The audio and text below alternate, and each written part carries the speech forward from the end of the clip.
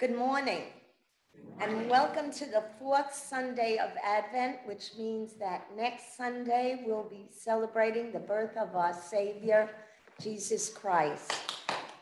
And children will be waiting for Santa. And we have a presentation by our Sunday school today. Um, next on December 24th, we will have our Christmas Eve candlelight service. We can celebrate that in person and online on Christmas Day. We will celebrate, there will not be an in-service, an in-person service. You can get that online. And we say Happy Hanukkah to those who are celebrating that. Um, please take a moment to just look at the prayer list and being it's the end of the year and go through it and try to update it as well as you can. Um, before we begin, please bow your heads in prayer with me. O infant Jesus, we ask prayers for the whole world this Christmas and especially our own country, that we may see and know that peace comes not through violence, bitterness, and hatred, but through love, forgiveness, and reconciliation. Christmas is the time for love. As you chose the lowly, the outcast, and the poor to receive the greatest news the world has ever known, may we begin to see the world in the light of understanding. May we worship you in meekness. May we also remember our brothers and sisters less fortunate, those who are suffering with illnesses, depression. May we take this moment to thank you for all you gave. Amen. The watchword for the week is Restore us, O Lord, God of hosts. Let your face shine that we may be saved. From Psalm 80. Please stand for the call to worship.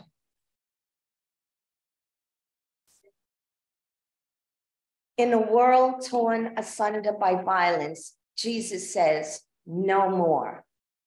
As it is written, a new command I give love one another as I have loved you. In a world where hurting people are too often neglected, Jesus says, no more. As it is written, a new command I give love one another as I have loved you. In a world where another's needs are too overlooked, Jesus says, no more. As it is written, a new command I give love one another as I have loved you. You may be seated, and we invite the Ziegler family to come and light the fourth candle of love.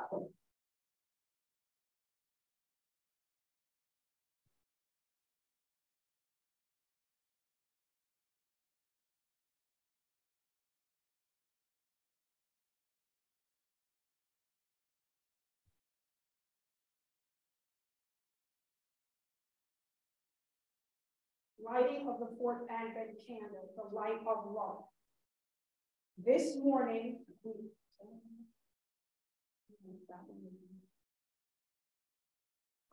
this morning we light four candles. In a world where darkness abounds, the light of the first candle radiates the hope of God's unfailing promise. As we light the second candle, we long for God's perfect peace to calm our souls and end our wars. The third candle reminds us that no matter what happens to us in life, joy comes from God's word.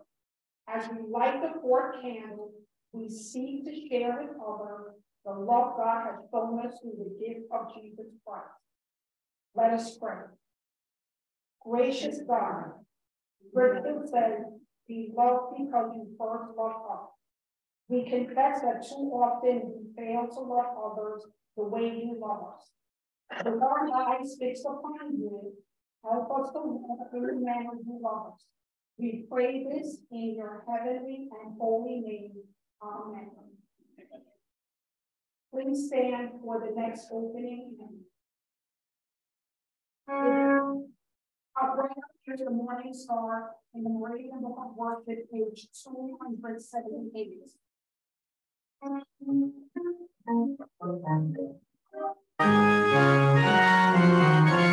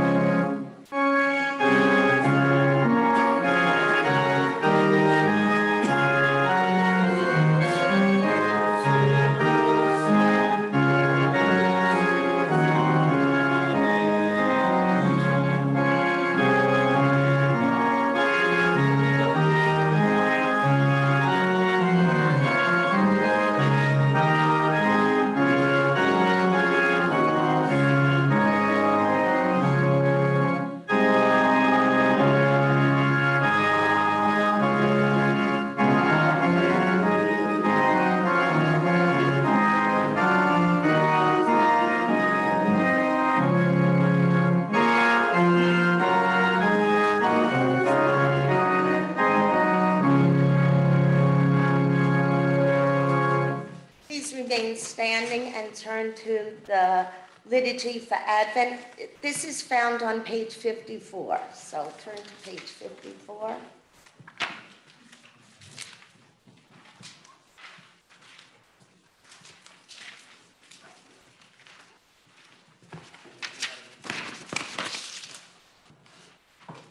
Sing to the Lord a new song, for God has done marvelous things we will offer the sacrifice of thanksgiving and tell of God's deeds in songs of joy.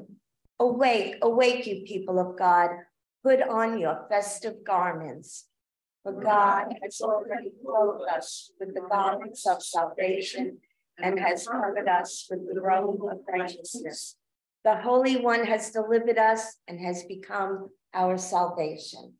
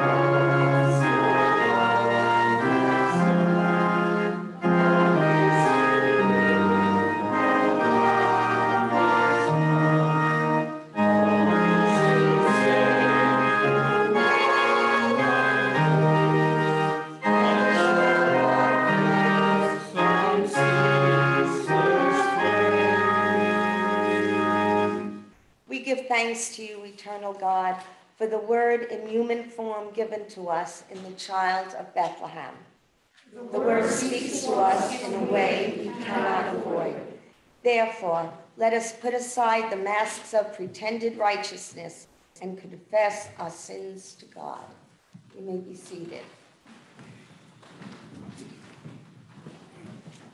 Gracious God, this Advent season stirs a longing to have Christ come alive within us.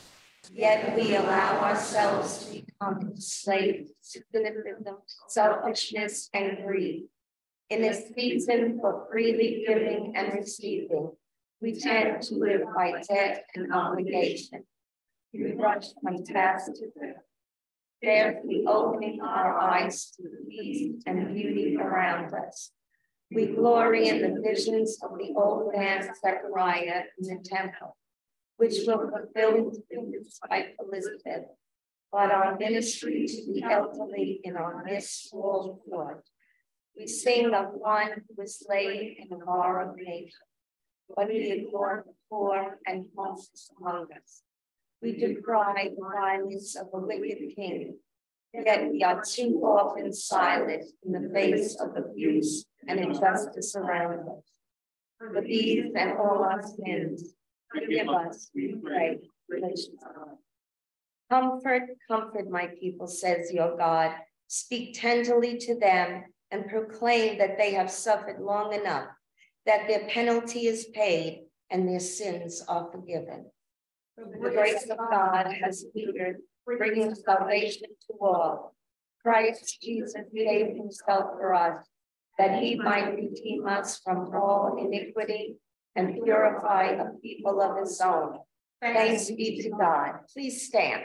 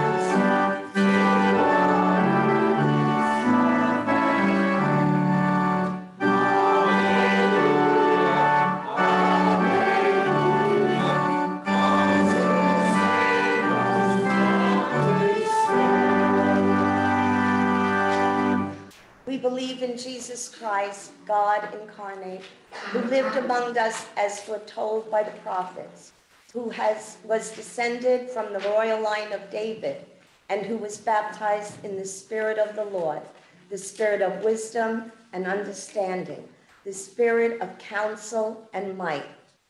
He does not judge by what his eyes see, nor decide by what his ears hear, but with righteousness he judges the poor and decides with equity for the meaning of the earth. We believe in the coming reign of God when justice will be established in the earth.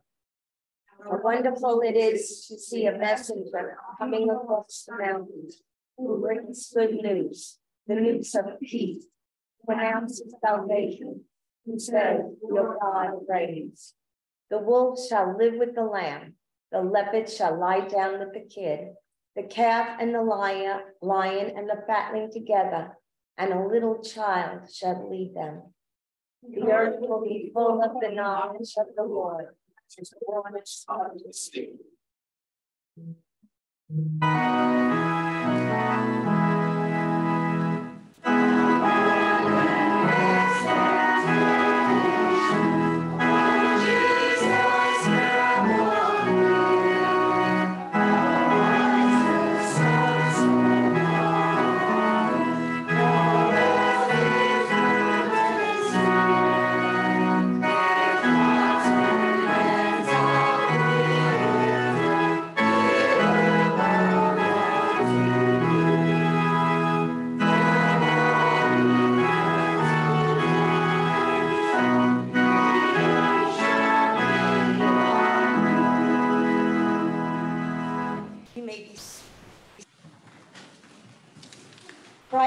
light of the world, empower us to shine as lights in this dark world of sin.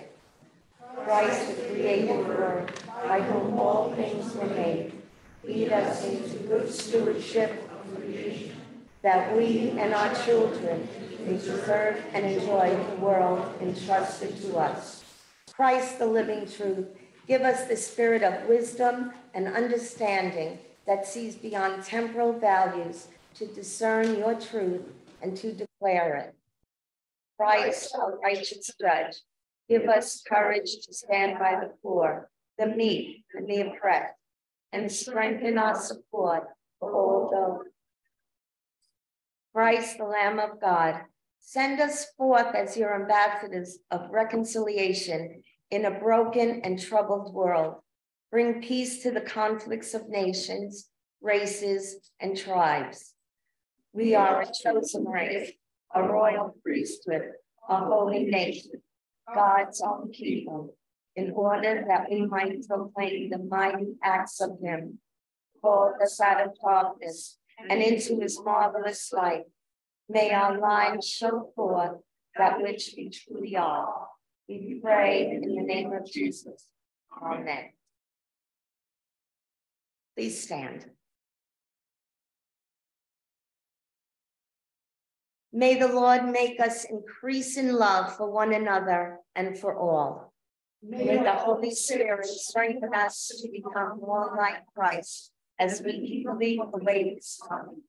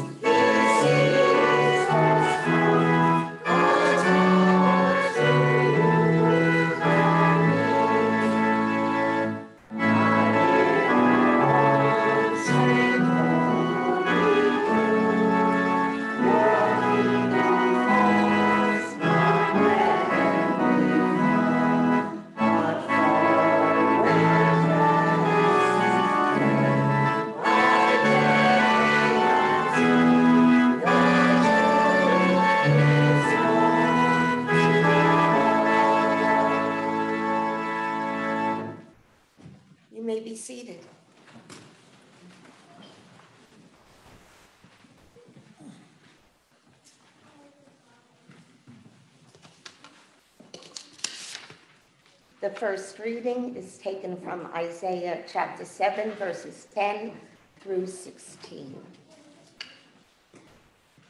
Again, the Lord spoke to Ahaz, Ahaz. Ask the Lord your God for a sign, whether in the deepest depths or in the highest heights. But Ahaz said, I will not ask. I will not put the Lord to the test. Then Isaiah said, Hear now you house of David, is it not enough to try the patience of men? Will you try the patience of my God also?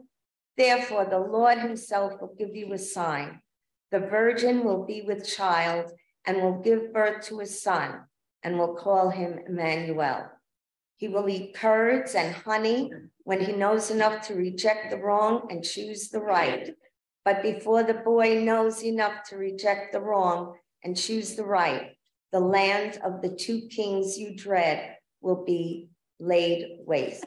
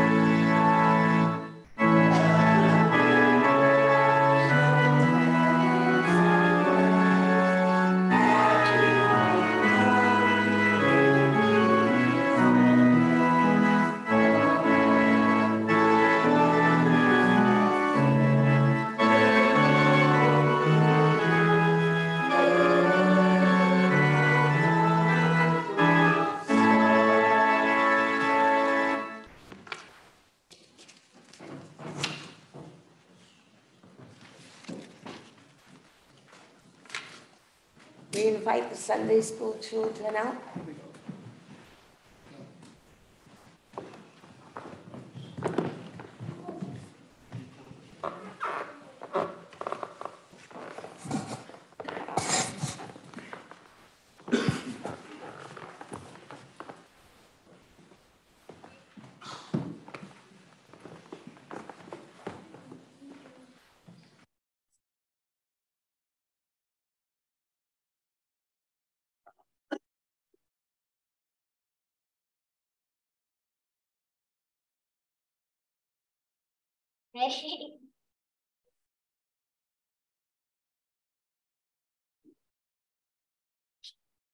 Plus, one week before Christmas, when all through this place, every child was stirring with a big happy face.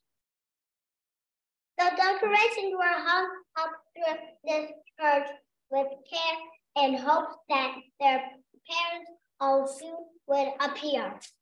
The children are gathered with lines to be said by visions of angels glowing in each hand. In one week, it will be Christmas. The time will soon be here. To sing of baby Jesus, the message so very clear. On On this this Sunday before Christmas, that's for Christmas.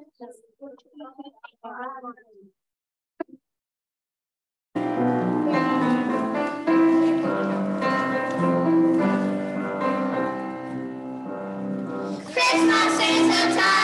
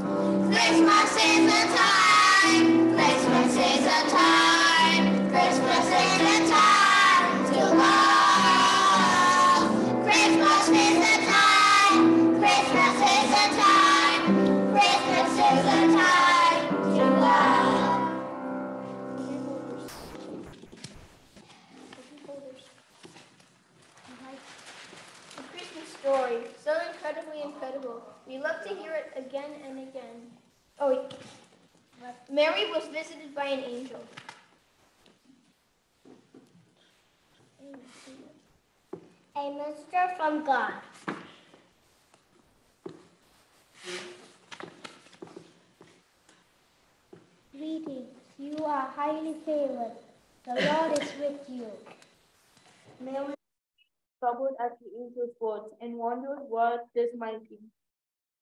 But the angel said to her, Do not be afraid, Mary. You have found favor with God. You will be with child and give birth to a son, and you will call him Jesus.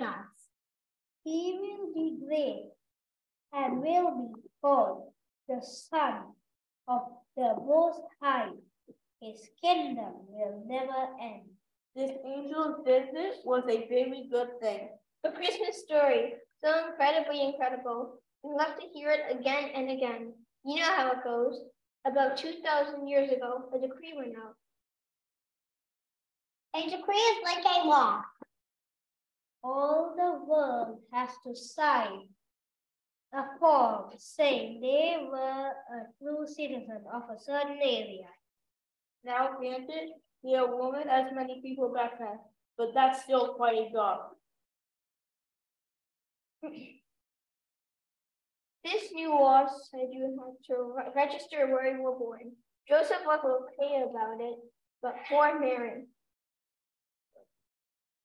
She was accepting a baby any day now, and she had to make the trip too.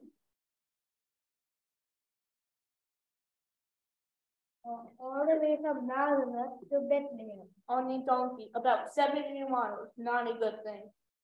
Mary and Joseph finally made it to Bethlehem, so did thousands of others. There were people everywhere, no room in any inn. An angel is Inn. an inn is like in a ho- a hotel. in hotel. well, what that really means is they couldn't find a place to stay. Not a good thing. Finally, an innkeeper, that's the person who runs the hotel. See how tired Bailey was. Offered his stable. This stable had cows, egg, and probably the worst smell. Well, in that stable, Mary has her firstborn son. An angel had already told Mary that the son name would be Jesus. She wrapped him in swaddling clothes. That's like long strips of clothes. And laid him in a manger. Jesus was was Away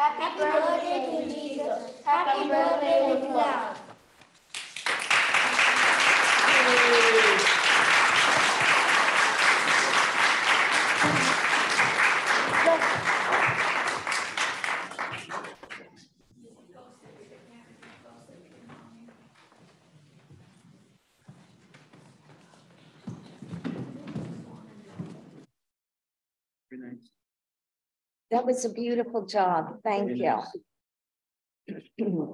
The second reading will be a responsive reading found in the bulletin. It's from Romans verses one through seven. Paul, a servant of Christ Jesus, called to be an apostle and set apart for the gospel of God. The gospel he promised beforehand through his prophets in the holy scriptures regarding his son, who as to his human nature was a descendant of David, and who through the spirit of holiness was declared with the power to be the Son of God by his resurrection from the dead, Jesus Christ our Lord. Through him we receive grace and apostleship to call the Gentiles, obedience that comes from faith. And you also are among those who are called to belong to Jesus Christ. To all in Rome who are loved by God and called to be saints, grace and peace to you from God our Father and from the Lord Jesus Christ. Please turn to page 292 in your blue hymnals for Once in Royal David City.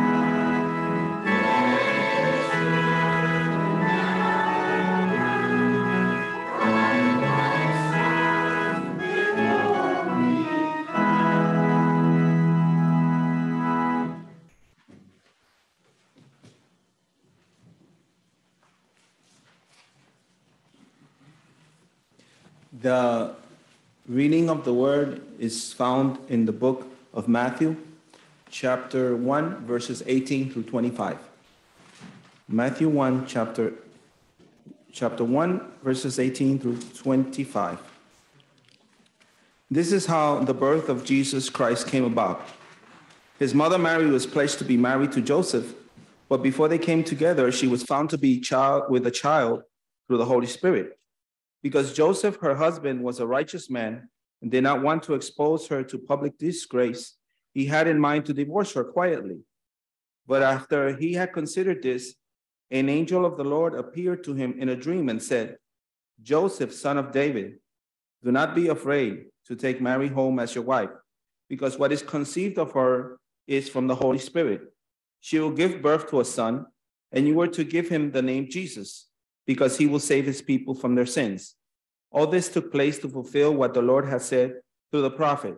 The virgin will be with a child and will give birth to a son, and they will call him Emmanuel, which means God with us. When Joseph woke up, he did what the angel of the Lord had commanded him and took Mary home as his wife. But he had no union with her until she gave birth to a son, and he gave him the name Jesus. This is the word of the Lord. This is a beautiful morning. Everybody looks great, sharp, like they used to say in the old days. And if there's one thing that I really enjoy about children's ministry and children's uh, voice heard in the church, not only in music song, but also in preaching and teaching, uh, it's that it gives them an opportunity to flower and to blossom. And even psychologists have done studies on how a child that is raised in the church develops awesome leadership uh, skills and also their emotional intelligences gets multiplied. So therefore, if you're bringing your child in or you're thinking about bringing in a nephew, a niece, a grandchild, or whatever it is that a neighbor's kid, bring them to the church and it's Great Kills Moravian Church. Don't forget the address. We also want to welcome those who are visiting us for the first time. I really appreciate that. And we really appreciate that at Great Kills Moravian Church because this is a season of Advent. And we don't come to the house of the Lord just because it's Advent. We come to the house of the Lord because we want to see Jesus. We want to see Jesus. We want to uh, feel and we want to think and we want to believe and we want to live for him as he chooses us as his servants. Today's uh, uh, message is uh, found in the book of Matthew. And the title is simple Joseph, a just man. Joseph, a just man. What is a just man? What is a man that is uh, filled with justice, a man filled with integrity? Uh, the Bible in the book of Psalms, Psalm 1, it's a psalm that I learned in Spanish when my grandmother used to visit from Puerto Rico and come to New York. And she taught us this psalm and here I'm going to read it in English because if I say it in Spanish, you probably will not understand it, right? Right? But it's the first three verses that talks about what is a just man, what is a man of righteousness. It says, Blessed is the man who does not walk in the counsel of the wicked, or stand in the way of the sinners, or sits in the seat of mockers. But his delight is in the law of the Lord, and on his law he meditates day and night. He is like a tree planted by streams of water, which yields its fruit in season, and whose leaf does not wither. Whatever he does prospers. What can we say about Joseph? What can we say about Joseph in this story? As you know, uh, the Bible uh, in the Gospels, Matthew and Luke, they have two stories about the Annunciation of Jesus being born. The story of Luke is about the annunciation to Mary, about how the angel appears to Mary and tells Mary that she's going to have a child. In Matthew, we have an angel through a dream that reveals himself to Joseph to tell him that Mary's child is not his, but it belongs to the Holy Spirit each story of the Annunciation is different. They have different purposes. Luke is very elaborate, gives a lot of details. As a matter of fact, there's like a dialogue because in Luke's uh, when Mary talks to the angel, she even questions, How is this going to be going out? Me having a baby? I haven't known Joseph. I haven't been intimate with him. How is this going to be? So there's a dialogue. And even in the in the in the book of Luke, when you see the story that it develops uh, regarding Mary, Mary at one point in time jumps for joy and is like Mary Poppins, and she sings a song. She's like, Oh God, you have visited your servant. I am so glad you have done this, you have done that. He, she sings. How about Paul? How about Joseph now? How does he do? Does he jump for joy? Does he start singing all over the place? Practical man, right? it's a trip. It's a trip. I mean, I, I was enjoying this, this whole this whole thing about how is it that we get a message from the Lord and one person jumps all over the place, and another person is like, okay, so what are we going to do? Practical. Practical. What are we going to do? Joseph is a carpenter. I was speaking to one of the brothers in the church. I, I love to speak with him because he's always talking about theology and hermeneutics and all these other stuff about the Bible. And um, Joseph is a carpenter, but a carpenter back then is not like the same type of carpenter over here that belongs to Union, I don't know what number. Okay? It's not that type. The carpenters back then, they did a lot of stuff. There was like a combination of uh, engineer or architect. And also they worked not only with wood, but they also worked with stones, with metals. So he was a carpenter. And most likely his father was a carpenter and his grandpa was a carpenter because that's how the way it was, you know? If you're if you're a teacher, your mom is a teacher, maybe your grandpa is a teacher or your grandma. So it's one of those things, it's a tradition. So he's a carpenter. And it says the describe his description on in Matthew is he's a just man. That is not taken to be taken lightly. You know what a just man is? It's a man that lives for righteousness. He has integrity. He likes to do things the right way, not just the way it feels like it. No, no, no, no. He's a man with a pattern. I'm sure he studied the law. I'm sure he tried to obey God. And here, this just man is about and has gotten a news, a tough news, a news that is very surprising.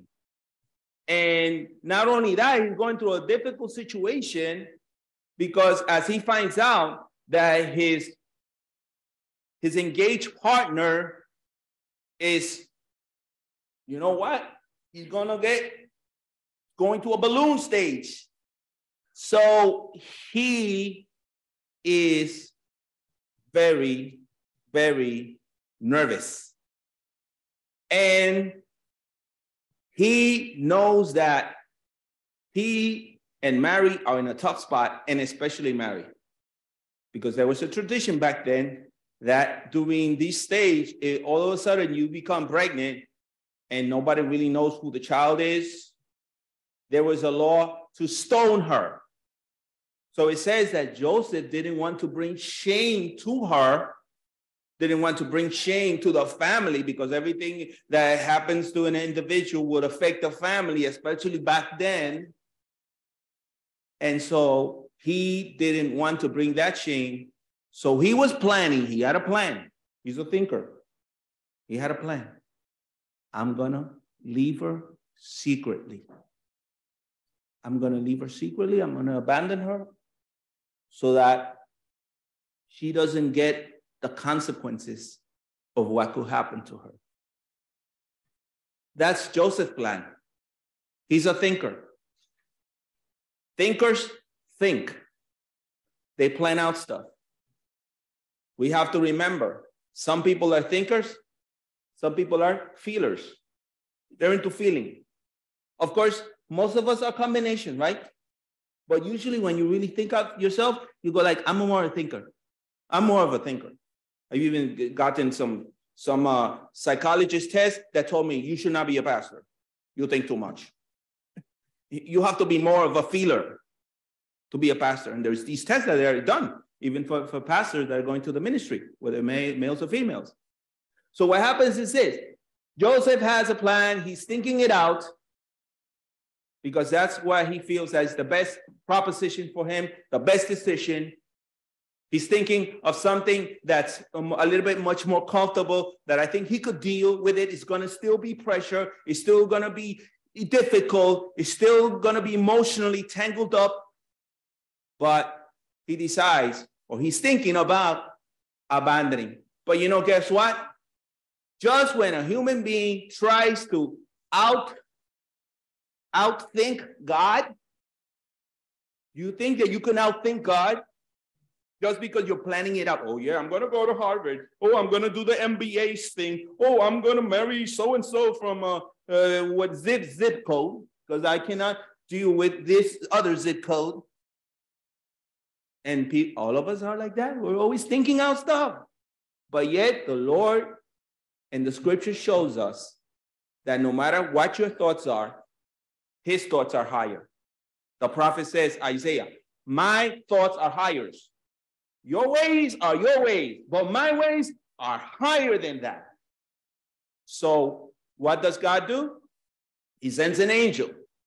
Most likely, it's the same angel he sent to Mary. That angel was working overtime during those days. He had to deal with Mary's responses, and now he had to deal with this guy, Joseph's responses, Joseph. So the Lord reveals himself and tells him, Listen, uh-uh. Take Mary home. Take her home. Marry her because the child she's gonna have is from the Holy Spirit. Oh, and by the way, you got to put him a name. No child is to come into this planet is not to have a name. His name is Jesus, Greek, Yeshua, in Hebrew, Aramaic. You're going to call him in English, Jesus. In Spanish, Jesus like my name. So he gets the call, he gets the instructions. And you know what? What does Matthew say in this chapter? He says, all of this stuff is going on because this was a prophecy to be fulfilled. You know, some people think that life is uh, just by accident. It's situations out there. No, no, no, no. God does not play games. Even Einstein says the old man does not play dice with the universe. That's Einstein from Princeton University. God has a plan. His plan is not Joseph's plan to abandon, to sneak out, to escape, to have Mary and not be uh, attacked and, and, and even given death. But that was not the plan. That was not God's plan. God's plan is for Joseph to obey him. It's for Joseph to put a name, name Jesus. And Matthew says that this is a prophecy to be fulfilled because the book of Isaiah, and was read today, chapter 7 of Isaiah, it says that a child shall be born. A child shall be born. And, and when that message was given in, in the times of Isaiah, about eight centuries before that, that message was given that it uh, was given to a king that was afraid, a king that was terrorized because there were these two nations were going to attack Israel, who were going to attack Judah, and they were going to vanquish them. They were going to uh, annihilate them. They were just going to do uh, horrible things to them. And through all that whole fear that the king was experiencing, the Lord tells him there is going to be a child. He's going to be born. And believe me, the dread, those things that you dread, they're not going to happen. Was Joseph in a situation that he was dreading, that he was fearful? Yes, he was. He was afraid. The angel told him, Don't fear. Fear not. He also, his angel also tells Mary, Fear not. Don't be afraid. Because sometimes the things of God that we don't understand will give us fear, will cause anxiousness to us. What's going to happen? What's going to happen to me? What's going to happen to her? What's going to happen to our family? Is anybody thinking nowadays what's going to happen to you, to your family? There's fear, there's anxiety. But yet the Lord has told him, No, you're going to have a son, and you will call him Jesus, and he's born of the Holy Spirit. He's going to be with you. And the prophecy is fulfilled. It says that when Joseph woke up, he became awoke. Now, nowadays, that's a bad word. Awoke. But this, this time, he's awakened to the dream of God. It's not an ideology. It's the dream of God. When you get the dream of God, he gives you awakening. He opens up your eyes. Open my eyes, Lord. I want to see Jesus. And he was promised that he was going to be the father. Some commentary called Joseph the foster father because he did not really bring his seed. It was the Holy Spirit that did the action. And Joseph gets the name and he awakes and he takes Mary to his home. And it says that he names the son Jesus. Son Jesus. No, Joseph is not the biblical character like Samson that I used to like. Mr. Tough, the Hercules of the Bible. No, Joseph is not like Moses parting the sea in, in, in, two, in two separate corners. No, uh, Joseph is not like Elijah that would pray and it would not rain and pray and it would rain some more. No, Joseph is a regular guy with a common sense attitude, but with an integrity that was hard none. No one had that type of integrity. You don't have to be a superhero. You just have to be faithful and obedient. And Joseph becomes the man at that point in time that he was thinking of leaving. And yet the Lord said, No, no, no, no, no, no. You got to stay. You got to stick around. And this message is very important for those fathers that sometimes feel that it's very difficult to stop, difficult the situation. This week I had several confirmations about this sermon.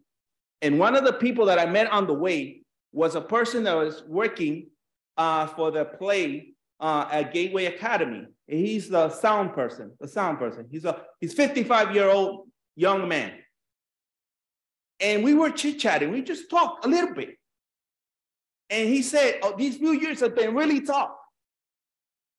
And one of the tough things he had to go was that his wife had some kidney problem since she was a child because she was born with only one kidney.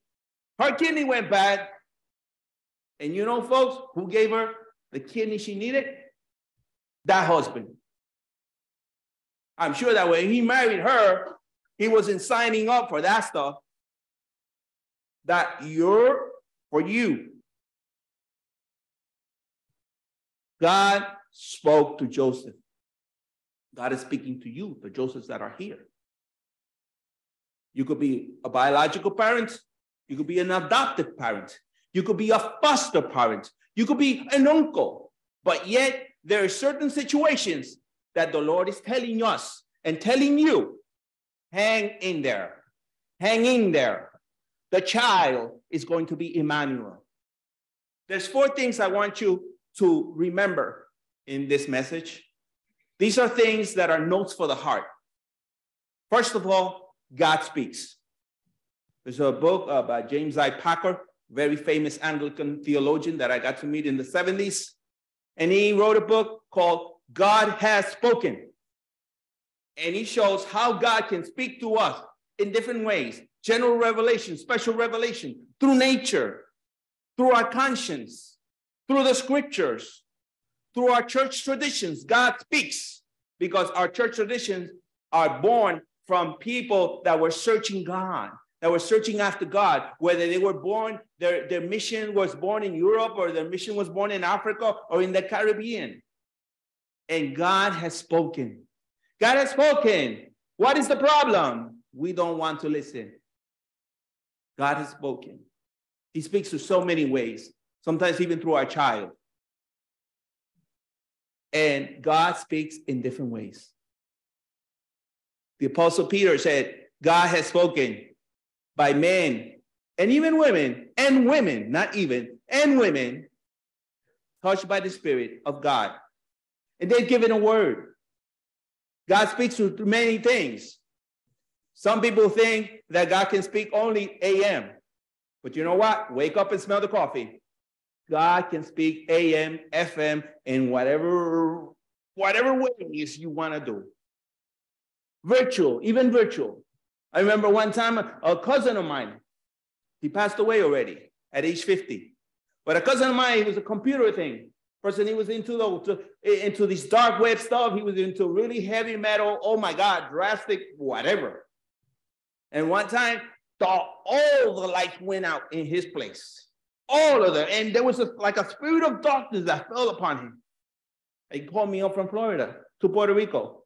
Oh, I'm calling you because I know that in the family, you, you're a pastor, and in the family, you talk to God, and in the family, but I'm scared. This guy was like hunky like this. And I said, you know what? God is calling you. God is calling you. God is sending you a message. God could do it verbally or non-verbally. God could do it through your context, your situation. God can do it through someone, someone else that you don't even know from a hole in the wall. Yet that person will tell you something that you need to know, and you know that the message is from God. It's a Federal Express for you. It's a UPS for you. It's a fax from the heavens for you because God doesn't want us to live a life afraid and scared about making decisions, about staying the course. So God can speak through us, maybe through a dream.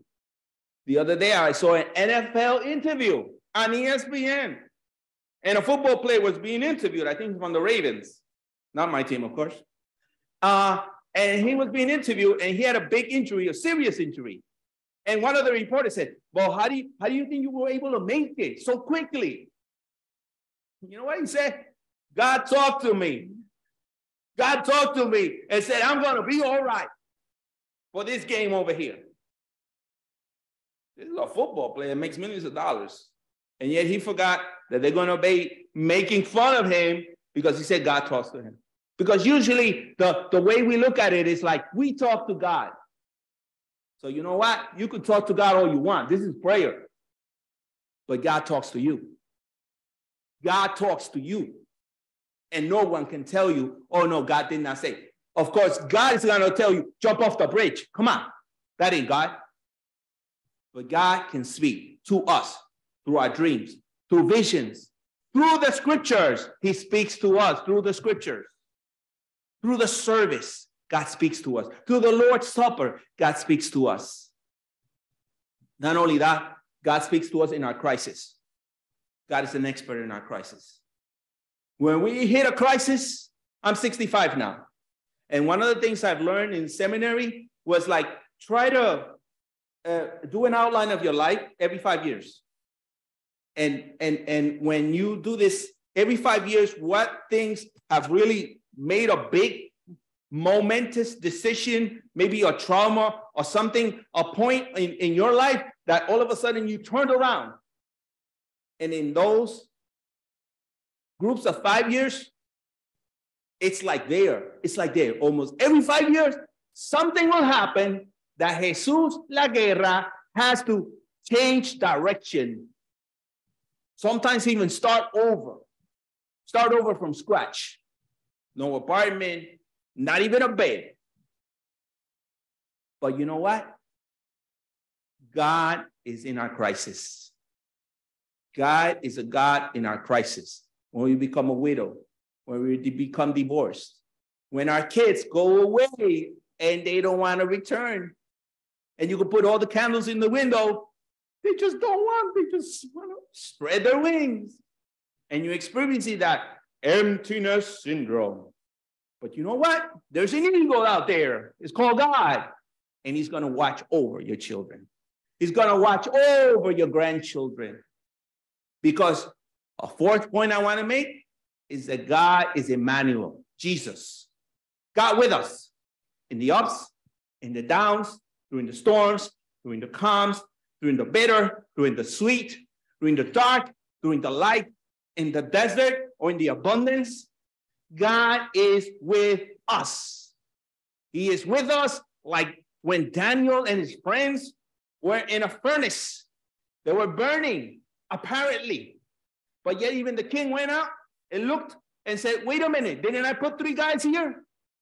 Now I see a fourth guy. Who is it? Who is with you?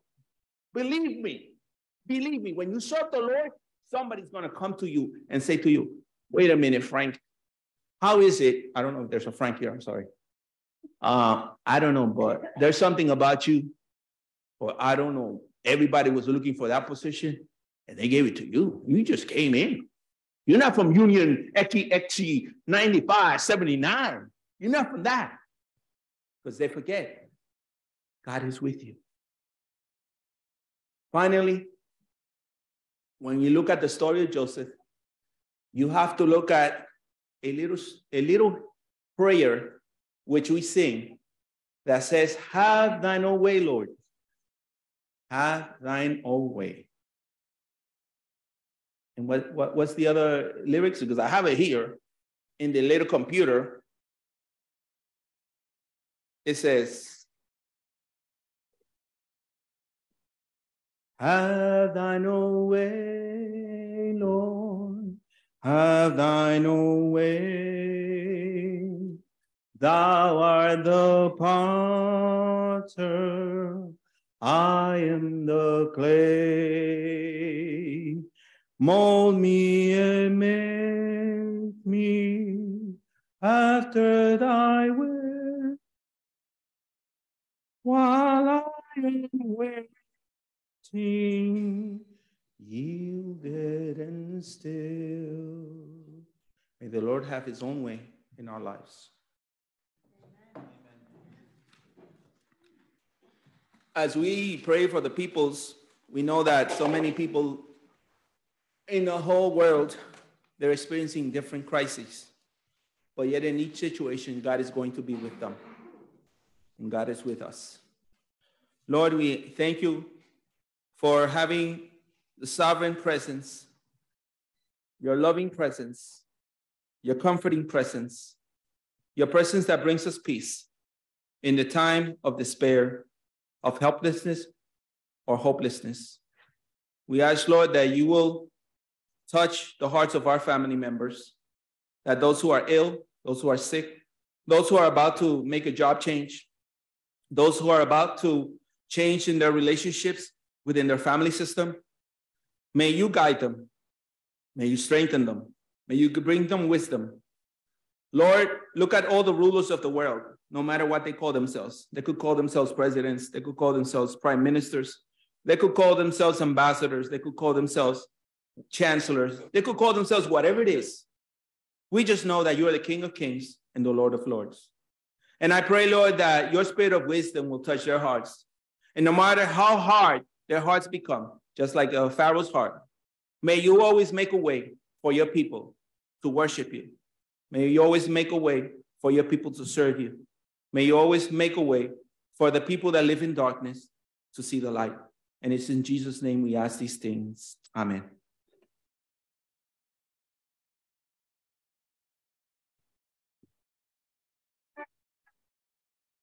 Mm -hmm.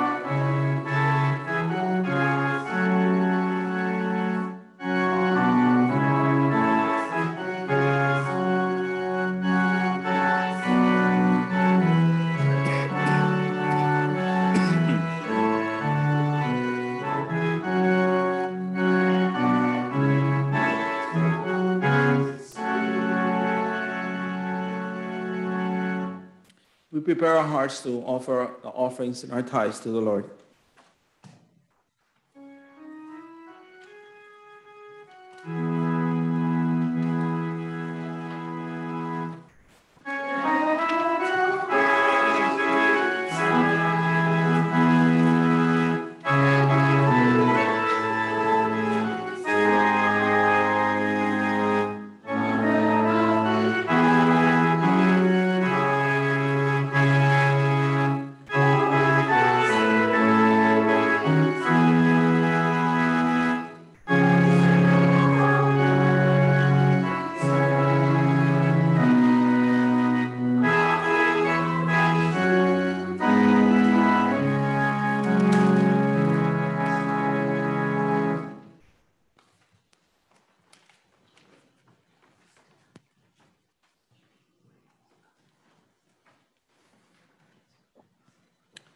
Let all mortal flesh keep silence, and with fear and trembling stand. Ponder nothing earthly minded, for with blessing in his hand, Christ our God to earth descended, our full homage to demand.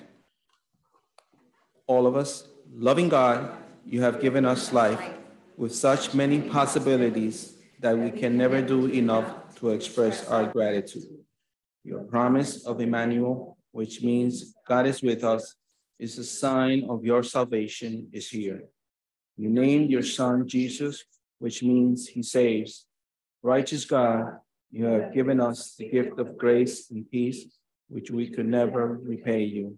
We offer ourselves in our thanksgiving to share. Pray that the resources will accomplish good among us and far beyond our expectations. Use us as apostles of your grace we pray this in Jesus' name. Amen. Lord's Prayer together. Our Father, who art in heaven, hallowed be thy name. Thy kingdom come, thy will be done on earth as it is in heaven. Give us this day our daily bread, and forgive us our trespasses, as we forgive those who trespass against us. And lead us not into temptation, but deliver us from evil. For thine is the kingdom and the power and the glory forever.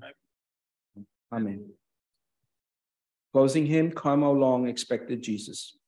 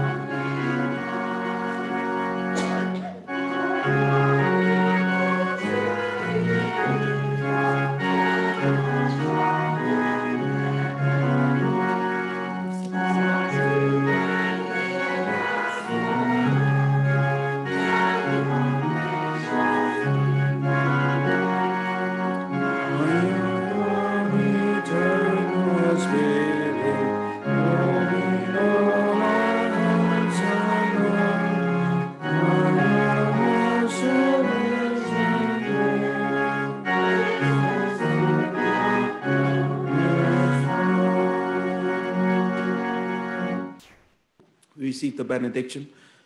Thank you, Lord, God Father, God the Son, and God the Holy Spirit. Thank you for this season of Advent. Help us understand that sometimes our richness does not uh, equal to how many gifts we have in, around our Christmas tree, because we understand that you died on a tree for us to give us life, and that you were born to be our Emmanuel, to be with us. May you be with our people, community of faith at Great Kills Moravian, and all the great Moravian churches all over the world, and all the churches that confess your name, whether it be whatever continent. And it's in Jesus' name, our Savior, we pray these things. Amen. Amen.